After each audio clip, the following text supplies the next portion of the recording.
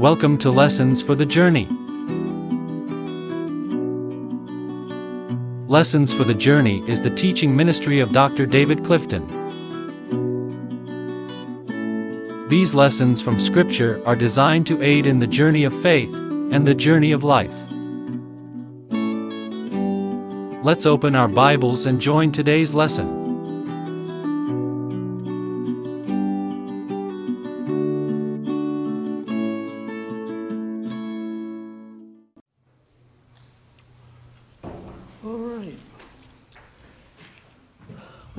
Notice under Scripture this morning it says various. Because you're going to be hard pressed to follow where I'm going this morning. Let me tell you what I do. Um, usually around Easter and Christmas time, uh, I go to a book, I guess best said compiled, by Dr. John MacArthur. It's a book he entitled One Perfect Life. And what he has done is he's taken all four Gospels and put them together in chronological order as the events occurred. And you get all four of the Gospel writers, their take on it are all combined together. so if you want to try to follow me, I'm going to be reading from Matthew 21, Mark 11, Luke 19, John 12, just to be a few places.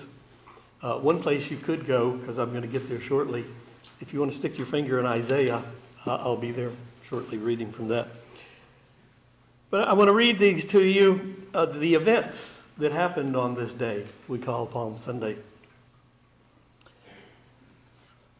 I think Matthew is the one that begins this, but at any rate, the next day Jesus sent two disciples, saying to them, Go into the village opposite you, and as soon as you have entered it, you will find a donkey tied and a colt with her, on which no one has sat. Loose them and bring them to me. If anyone says to you, Why are you doing this? you shall say, The Lord has need of them, and immediately he will send them here. So they went their way and found the colt tied by the door outside the street, and they loosed it. But some of those who stood there, the owners, said to him, What are you doing loosing the colt? And they said, The Lord has need of him, just as Jesus had commanded. So they let them go. They brought the donkey and the colt to Jesus, laid their clothes on them, and they set Jesus on the colt. All this was done that it might be fulfilled, which was spoken by the prophet, saying, Fear not. Tell the daughter of Zion, Behold, your king is coming to you, lowly and sitting on a donkey, a colt, the foal of a donkey. His disciples did not understand these things at first, but when Jesus was glorified, then they remembered that these things were written about him and that they had done these things to him. And a very great multitude that had come to the feast, when they heard that Jesus was coming to Jerusalem, took branches of palm trees and went out to meet him. And as he went, many spread their clothes on the road, and others cut down leafy branches from the trees and spread them on the road. Therefore, the people who were with him when he called Lazarus out of his tomb and raised him from the dead bore witness. For this reason, the people also met him, because they heard, had heard that he had done this sign. The Pharisees therefore said among themselves, You see that you are accomplishing nothing. Look, the whole world has gone after him. Then, as he was drawing near to the descent of the Mount of Olives, the whole multitude of the disciples who went before and those who followed began to rejoice and praise God with a loud voice for all the mighty works they had seen, saying, Hosanna to the Son of David! Blessed is the King who comes in the name of the Lord. Peace in heaven and glory in the highest. Blessed is the kingdom of our father David, that he comes in the name of the Lord. Hosanna in the highest. And some of the Pharisees called to him from the crowd, saying, Teacher, rebuke your disciples. But he answered and said to them, I tell you that if these should keep silent, the stones would immediately cry out.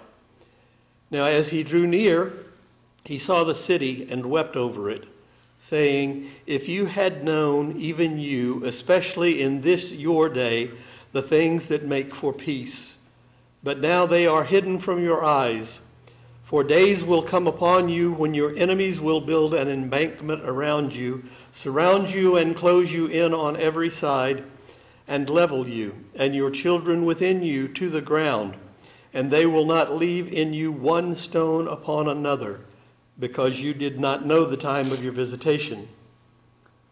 And when he had come into Jerusalem, all the city was moved, saying, Who is this?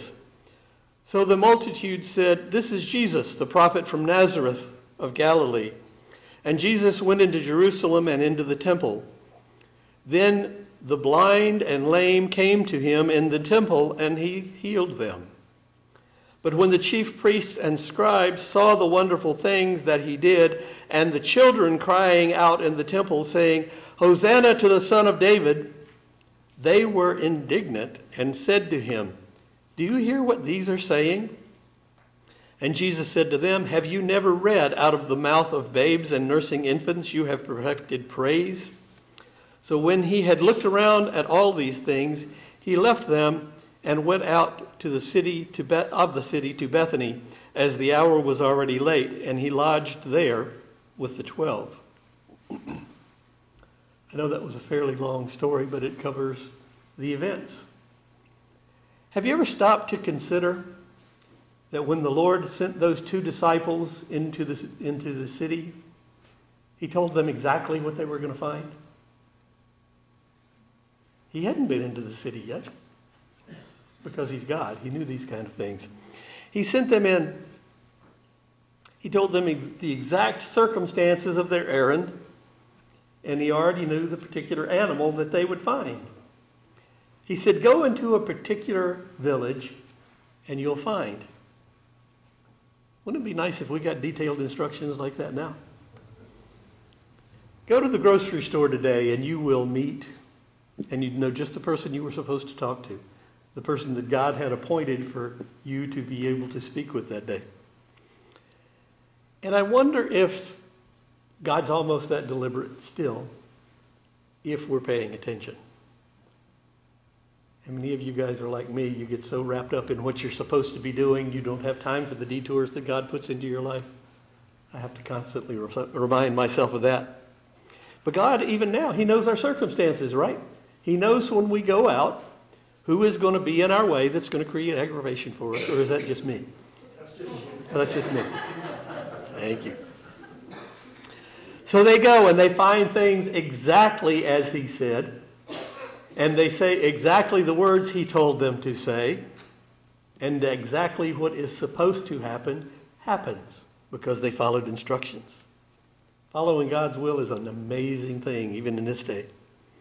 He said, You'll find a donkey tied and a colt with her on which no one has sat.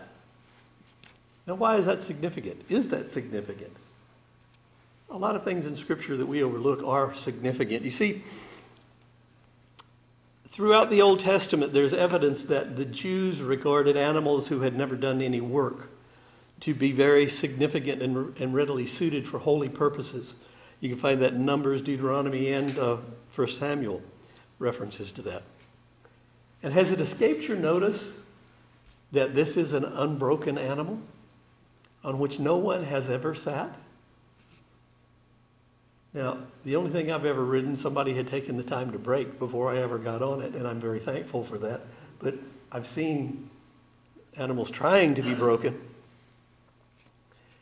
And yet, this animal that had never been broken, on which no one had ever sat, had absolutely no complaint when it carried its creator.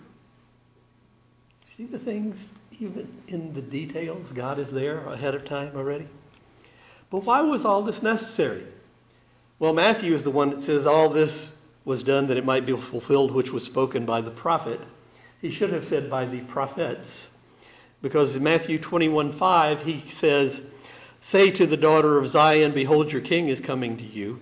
The passage we read before. And in that passage, Matthew is actually quoting from Isaiah and from Zechariah. Zechariah, I'm sorry, Isaiah 62, 11. I told you to put your finger in, in Isaiah. This is important enough. I want you to turn there. Isaiah chapter 62, verse 11. And he also brings in part of Zechariah 9, 9. But Isaiah is perhaps the more important of the two. Isaiah 62:11 says, "Behold, Yahweh has announced to the ends of the earth, say to the daughter of Zion, behold your salvation comes. Behold his reward is with him and his recompense before him." Now the Hebrew word that is there that is translated into English as salvation is yesha. And no, I'm not trying to make you Hebrew scholars. I'm not a Hebrew scholar. I know enough to be very dangerous. But it is identical to the name of Messiah except for one letter. Messiah's name is Yeshua. The Hebrew word here is Yesha. Yeshua means the Lord is salvation. This is the word that is translating Yesha. But Isaiah describes Yesha, that is salvation, as a person, right? Look at the pronouns.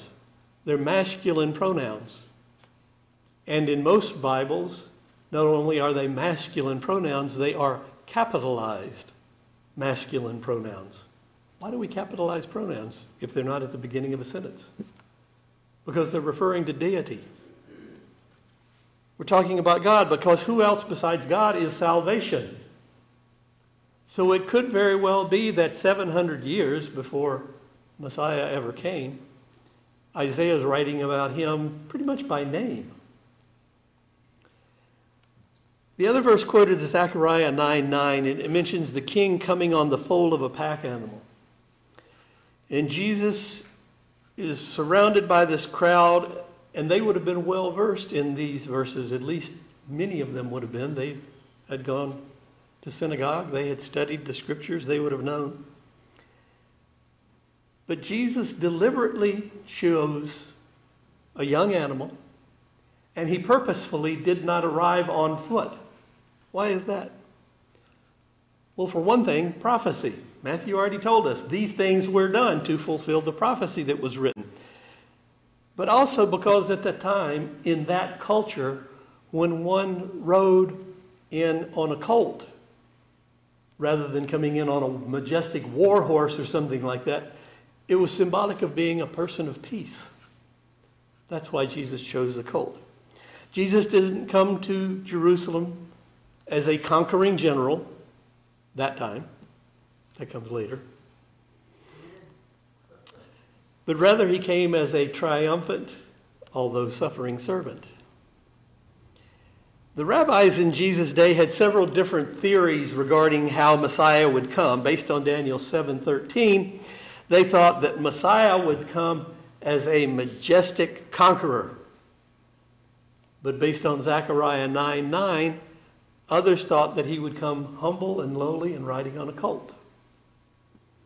See, what they did not put together was that it's one Messiah two times. Because when he came this time, he was lowly and riding on a colt. That's not how he'll come back, though. So, in the first century as well, some of the rabbis reconciled this by saying, well, if Israel is in the right spiritual condition, then we will receive the conquering Messiah. But if we're not where we need to be, then we will receive the suffering Messiah. But them being who they thought they were, much like we sometimes think we are, of course they were ready, so it's going to be the conquering Messiah, right? That's who they were expecting. That's the only one they were looking for. They still hadn't gotten that part I just told you about. One Messiah, two times. So Scripture continues. His disciples didn't understand these things at first, but when Jesus was glorified, then they remembered. Doesn't that put us in good company? There's several times in Scripture where Jesus kind of turns around and says, Don't you guys get it yet? Which puts us in really good company because when we're going through and we're having difficulty understanding a scriptural truth, we're in the same company as the disciples. So rejoice in that and keep striving and you'll figure it out. Because these folks who Jesus turned around to and said, Don't you get it yet? in just a little while, they're going to be turning the world upside down with the message of the gospel. That's the power that the Holy Spirit provides for us. They didn't understand everything overnight, and some of it had to be repeated. sometimes even several times, but they got it and God used them. So this procession begins. What happened here? Did the disciples go out and drum up a parade and get everything organized? No. It was a natural outflow of what had happened. And a very great multitude that had come to the feast when they heard Jesus was coming took branches of palm trees and went out to meet him, and they spread their clothes on the road. You know the story. How many ways can you tell the story of Palm Sunday, and how many times have you heard it? We know what happened. But if you think about it, the word would have spread from the villages. It wasn't that long before that Jesus had told Lazarus to come out of the grave, and he did. Nobody would have talked about that, right? You know they would have. It would have gone everywhere. You know, that would have been, as they say, gossip is currency in some places. That would have been a story that the folks that were there would have told for anybody that would stand still long enough to listen to it. And think about it. Bethany's not that far from Jerusalem, and Jerusalem was packed during Passover time. It was one of the feasts when people came into Jerusalem and a lot of times they would stay with relatives. So when you have relatives come in from out of town, don't you catch them up on the news of what's been going on? How many times in how many houses do you think the story of Lazarus coming out of the tomb was repeated over that Passover time? So they had heard, and they had heard that he wasn't that far away, and they're thinking, well, maybe he'll come into town. Maybe we'll get to see him. And then they heard, hey, he's coming. Word would have gotten out that he was making his way, so the crowd went out to meet him. And they were spreading palm fronds and clothes in the way. They were it's like receiving royalty. And indeed they were receiving royalty. For this reason, the people also met him because they heard that he had done this sign. Wouldn't you go meet somebody that raised someone from the dead? They did. They're headed out to see him. And it's like they were seeing, saying, let's go see what this guy's about. You know, we've heard about him. Let's, let's go see him now. Therefore, the Pharisees said among themselves, You see, you're accomplishing nothing. The whole world has gone after him.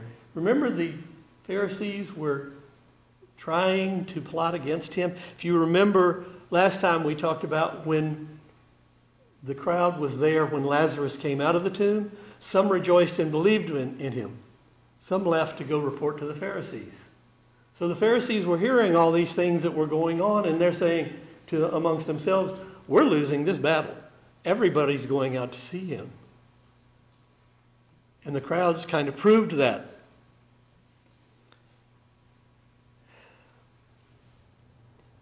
On his way from Bethany, just as he reached the crest of the Mount of Olives, because it said he was beginning the descent of the Mount of Olives.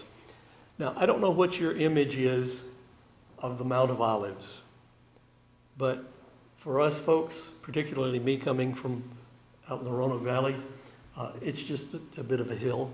It's not really a mountain like we would think of. Um, it's perhaps, and I'm being generous, half the size of Afton Mountain. Most of us know where that is. Um, but he was coming from Bethany on the backside of the mountain when he got to the top, when he got to the crest, as he began to descend, coming down through the Kidron Valley and then back up to go into the eastern gate in Jerusalem. It's the spontaneous praise that breaks out from his followers and then from the others who were behind. It's because so many of them finally recognized this is the guy. This is the one who did it. And he's done all these things, and they talk among themselves about all the ministry that he has had all of this time. And so the natural reaction is to praise. Blessed is he who comes in the name of the Lord. Throughout Scripture, anytime anybody recognizes that God is before them, most of the time they wind flat, up, flat on their face. But all of the time they wind up in worship. It's just the human reaction to being in the presence of the divine. They're recognizing this. Hosanna to the Son of David. That's a messianic phrase. They're recognizing this is Messiah. In our 21st century American selves, we can't quite get a complete grasp on that because it's not part of our culture. It hasn't been ingrained into us. But basically, they were saying, This is God's anointed one who was coming, the one we have waited for all this time. The salvation of Israel here is here. And they said, Peace in heaven and glory in the highest. Have you ever considered how close that is to something we can find in Luke chapter 2? You remember Luke chapter 2, right? Glory to God in the highest, on earth, peace, goodwill toward men. It's not that much different. Peace in heaven and glory in the highest. And then they're saying, Blessed is he. We just read those words in the Hallel, Psalm 118. The crowd recognized there was some significance in what was happening. This isn't just some guy coming in. This, there's something significant in him. There's no doubt that his miracles, his teaching, and all of the things that occurred before helped them realize yes, this is Messiah we've been waiting for for years and years. And some of the religious people, you've been around religious people. I don't ever want to be a religious person. I want to have a relationship with Jesus Christ. I don't want to be a religious person. The Pharisees called out him, Teacher, rebuke these folks. Don't, can't you hear what they're saying? It's blasphemy. Stop them. What Jesus say? If I stop them, the rocks are going to cry out. The praise of God is going to happen. Whether it makes the religious leaders happy or not, it's going to happen. And then he prophesies how Jerusalem will be surrounded, which happens in 70 AD when the Romans come in. But I want to leave you with, in that particular section, they, that one stone will not be left upon another, which is what happened in the temple, because you did not know the time of your visitation. You didn't recognize. All these people are recognizing, but the leaders did not recognize what was going on, the time of your visitation, that Messiah was there. They didn't recognize it. And when he moved into the city, he's coming into Jerusalem. It says all the city was moved, saying, Who is this? And the multitudes were saying, Well, don't you know? Where have you been? This is Jesus of Nazareth, the, the prophet. And he went into the temple, as he had done so many times before. And what does he do in the temple? Same thing he's been doing all throughout the gospel. He's healing the lame and he's healing the blind. He's doing the same ministry that he's always done. But when the chief priests and scribes saw the wonderful things that he did, I think that was part of it, but I think the bigger part of it was here. And the children in the temple saying, Hosanna to the Son of David, they were indignant. So now, when Jesus came down the Mount of Olives and across the Kidron Valley, he would have been coming into the eastern part of Jerusalem through the eastern gate, which is very close to the Temple Mount. And so at least the eastern part of the city knew something was going on because there's this huge commotion coming down the side of the Mount of Olives. So the people inside the city are hearing about it, and word would spread as it would before cell phones and everything else. I bet the word didn't get to the west side of Jerusalem much slower than it would these days by word of mouth. People telling who went where. So people all over the city are knowing what's going on. They're wondering. All the city is moved. And I think that started once he topped the Mount of Olives and started down. He went into Jerusalem and did his ministry as he always did.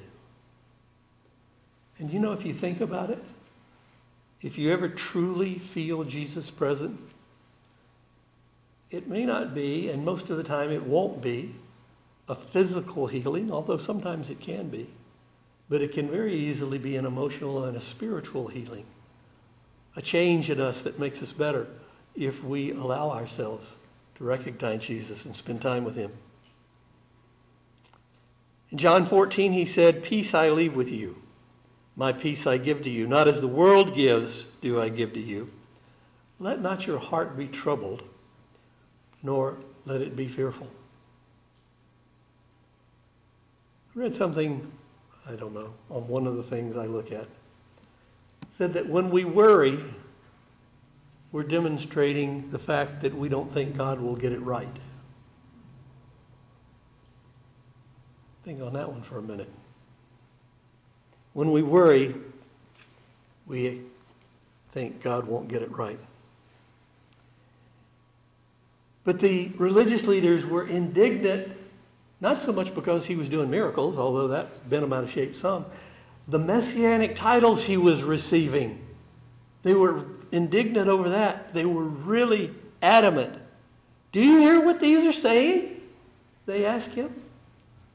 Why were they so upset over this? Because he was threatening their position. If he really was Messiah, they wouldn't be in charge anymore. He was threatening their position. Do you hear what these are saying? Why were they saying it? Because the ones who were saying it had recognized that Messiah, the Son of David, the Son of God, the anointed one, was in their presence. When God shows up, you can't avoid it. You can't miss it. And with expressions like, Blessed is he who comes in the name of the Lord, and being called the messianic title Son of David, the crowd is acknowledging left, right, and center that Messiah is here among us. And what most of them did not know maybe a few, and what I suspect most of us don't recall. Maybe we've heard it before and it's stuck somewhere in the back of our minds, but we don't recall it that much. This day is much more special than just what I've told you about so far.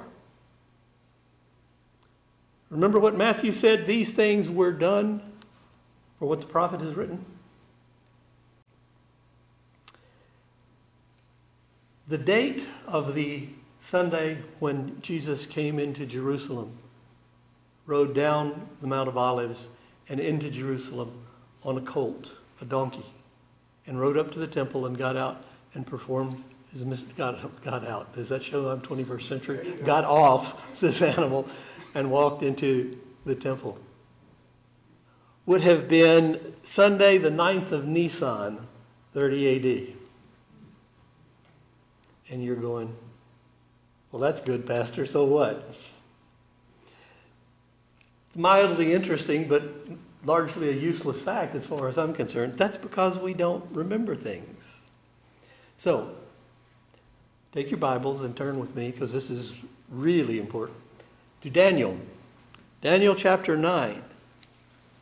And so let me either remind you or teach you, as the case may be, what this is about.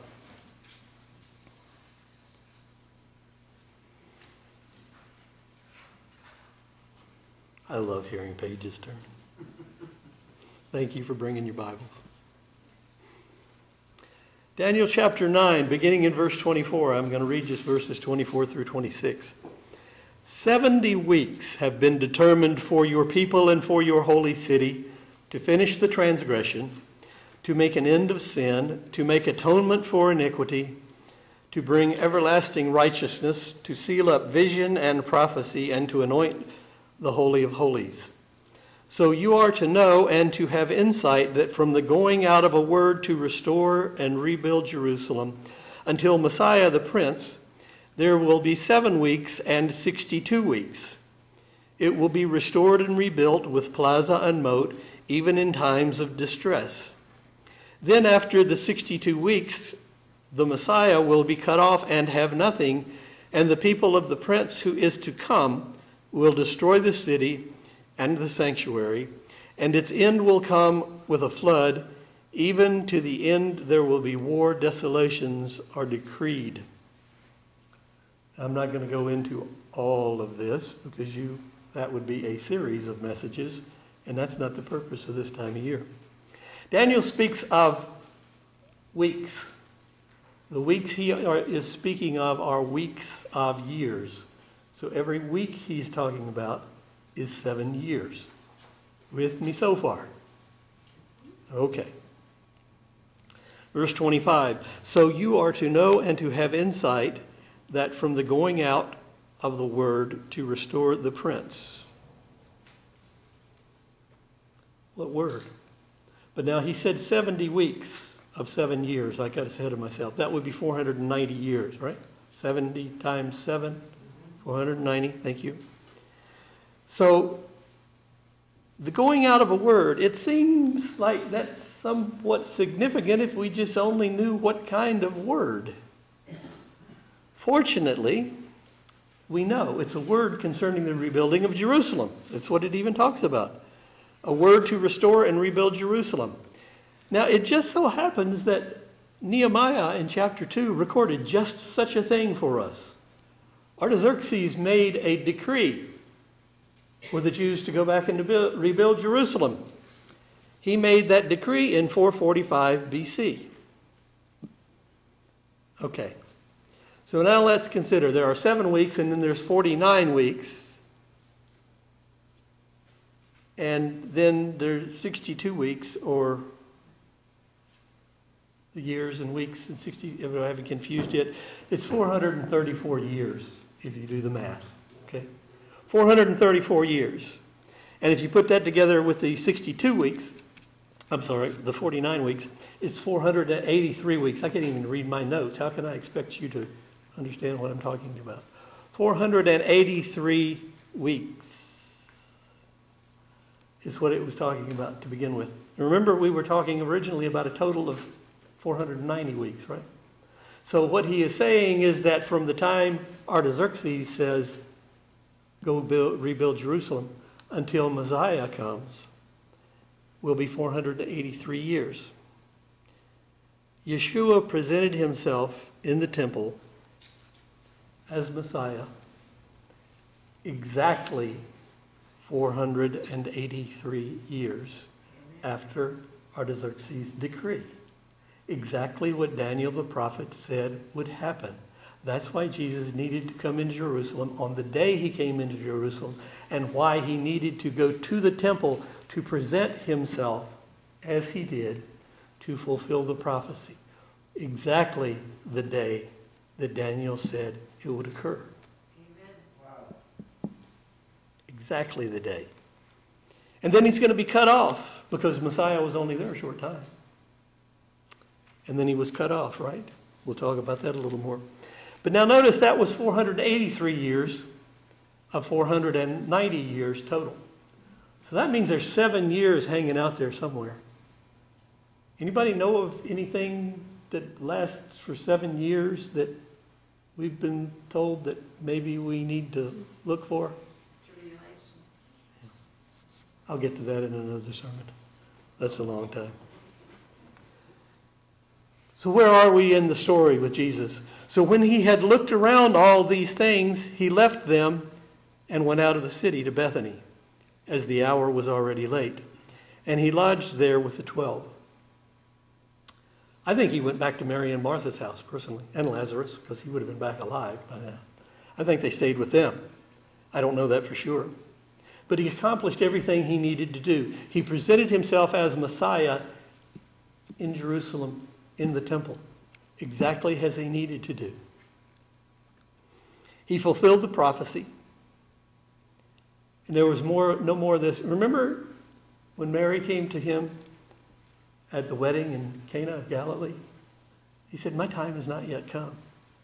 No more of this, my time has not yet come anymore. No more of that. I think he publicly came in and made the statement, I am here. But he also stirred up the leaders who wanted to do away with him.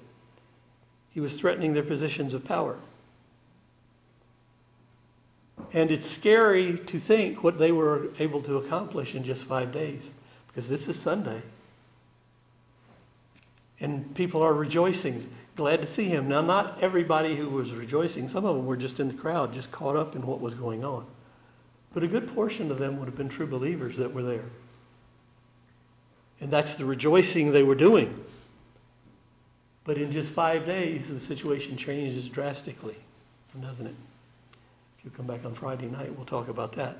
But for now, let's remember that this is a day of prayer and praise. So let us let me close this, this message in prayer, and then we'll turn to number 63 and do some more praise. Heavenly Father, thank you for your word, and Lord, that you are true to yourself so that when you give a date, you keep the date. You're never late.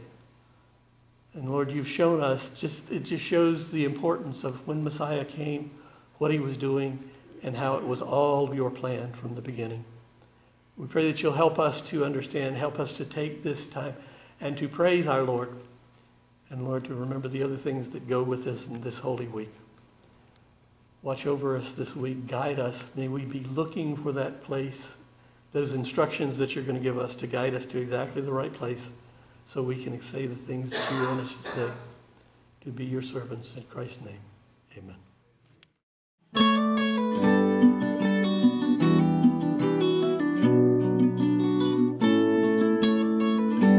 Lessons for the Journey is recorded during the services of Bethlehem Congregational Church in Disputanta, Virginia, where Dr. Clifton serves as pastor. If you find these lessons helpful, please click the thumbs up and subscribe to the channel. Join us next time for more Lessons for the Journey.